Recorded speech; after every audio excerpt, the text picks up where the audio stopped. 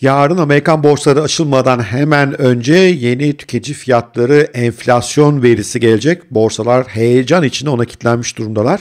Bana da epey çok hem direkt mesajlarda hem yorumlardan talep geldi. Hocam bir değerlendirir misiniz diye. Niyetim yarın akşam bu konuda bile canlı yayın yapmak. Eğer yeterince bu videoma yorum, like alırsam söz veriyorum yarın bir de enflasyon verisini değerlendirdiğimiz canlı yayın yapacağım.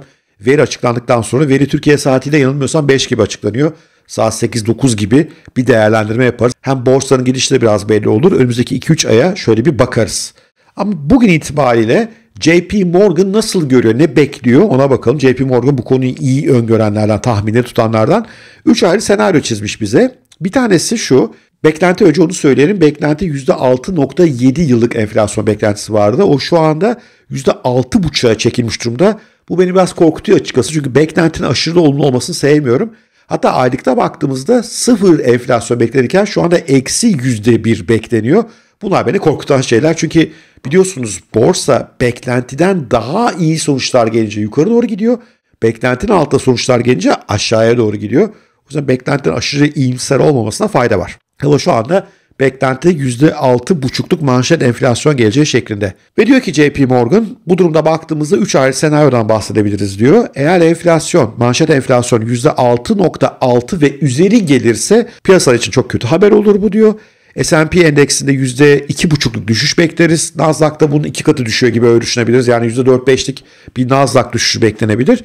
Çünkü borsalar bu durumda Şubat ve Mart'ta Fed'in faiz artışının kesinleşeceğini Hatta nokta 25 yerine 50 bas puanlık artışlar gelebileceğini fiyatlamaya başlar. Bu bizi bayağı geriye götürür diyor. Buna ihtimal olarak %15 ihtimal vermişler. Neyse ki çok yüksek ihtimal vermemişler. Bunun sevindirici olduğunu düşünüyorum. JP Morgan'ın çok daha yüksek olasılık verdiği %65 ihtimalle gördüğü enflasyon %6.4 ile %6.6 arasında geliyor. Bu aşağıya doğru gidişatın devam ettiğini gösteriyor. Olumludur diyor. Borsalar bunu S&P 500 endeksinde %1-2'lik bir artışla ödüllendirebilirler diyor. Bu çünkü Fed'in daha fazla agresifleşmeyeceği anlamına gelebilir. Belki de Mart sonrasında faiz artışlarının durabileceği anlamına gelir. Yalnız bu ihtimal gerçekleşse bile Şubat-Mart'ta 25 bas puanda olsa faiz artışları devam eder diyor. Borsalarda da bu durumda işte de önce bahsettiğim gibi S&P 500'de küçük bir yükseliş bekliyor. En yüksek olasılığı buna vermişler. %65 ihtimal diyorlar.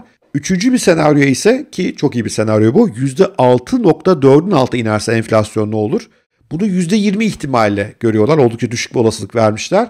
Bu durumda S&P 500 endeksine %3-3,5 artış gelir. Çünkü borsalar bunu Şubat-Mart'ta Fed'in faiz artışını durdurabileceği veya çok yavaşlayacağı, Nisan sonrası ise faiz artış ihtimalinin sıfırlanacağı şeklinde değerlendirir diyor. Bu tabii hepimiz için iyi bir senaryo olur.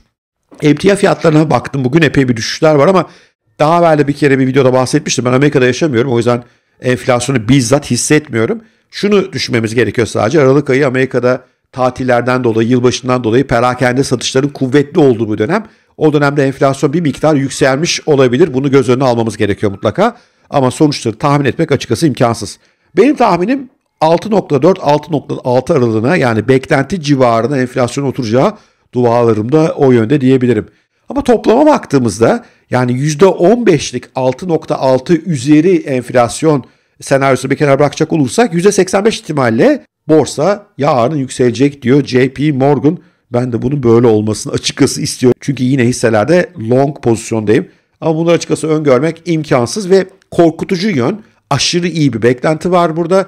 Genelde nedense beklentinin tersi yönde hareket etmeyi seviyor rakamlar. O yüzden umuyorum JP Morgan haklı çıkar ama veri bizi şaşırtıyor olabilir. Bu arada küçük bir ekleme daha yapmak isterim. O da enteresan bir ekleme. Son 3-4 gündür farkındaysanız S&P 500'lere, Nasdaq'lara, Dow Jones'lara yılbaşından itibaren bir rally modunda gidiyoruz. Aslında bu ilginç de çünkü Amerika'da istihdam beklenenden kuvvetli, işsizlik beklenen az. Hani borsaların bunu olumsuz değerlendireceğini düşünüyorduk. Ayrıca FED yetkilileri çıkıp çok sert konuşmalar yapıyorlar. Dün de yine Fed'in iki yetkilisinin faizleri süper yüksek tutacağız. Enflasyon bitmeden biz bu işi bırakmayız. Powell dedi ki piyasalar aşırı iyimser davranıyor. Biz enflasyonu ezmeden bu işi bırakmayacağız. Dün de böyle açıklamalar geldi. Ona rağmen borsa eşir kapattı. Bu da belki yatırımcının artık yönün değişmeye başladığını Fed korkutmaya devam ediyor olsa da en kötünün gerimde kaldığını değerlendirdiğini anlıyorum ben.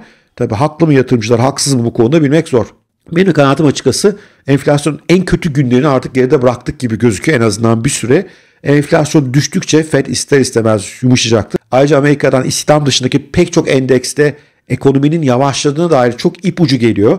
Maaş artışları mesela pek de yüksek değil. Yani istihdam yüksek ama maaşlar artmıyor. Bunlar hep sevindirici haberler. Ne açısından? E, Fed'in davranışı açısından. O yönden de yarın iyimser olma ihtimali yüksek. Ama şunu da söylemekte fayda var. Ben daha evvelki iki enflasyon tahminim karamsardı. Sonuçlar çok iyi geldi. Bu sefer böyle biraz iyimserim. Bundan da korkuyorum samimiyetle söyleyeyim. Yarın canlı yayında inşallah görüşürüz. Aşağıya like'a, yoruma boğun. Ben de bileyim ki, ben de anlayayım ki böyle bir canlı yayın istiyorsunuz. Yarın buluşalım. Görüşmek üzere. Sevgiyle kalın. Hoşçakalın.